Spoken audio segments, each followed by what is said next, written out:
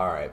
So I noticed a lot of people were having issues on trying to find the Battlefield 2042 10 hour trial on their on their uh, computer. You guys probably either tried to download this game from Origin or the Xbox app, and you guys were either greeted with an error message or a statement saying that you have to upgrade to EA Pro. You guys do not need to worry about any about any of those. What you guys do need to do, however, is download the Xbox Beta app for PC. You guys need to just look it up on uh, Google, Xbox Beta app for PC. Download.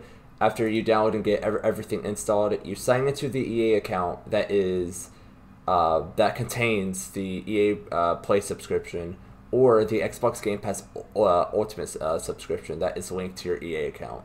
After you do after you do that, you just want to look up Battlefield 2042, and it should say here included with your EA Play membership, so you guys can play the 10-hour trial. You guys can download it, and I tried it. It works. Every, every everything is working.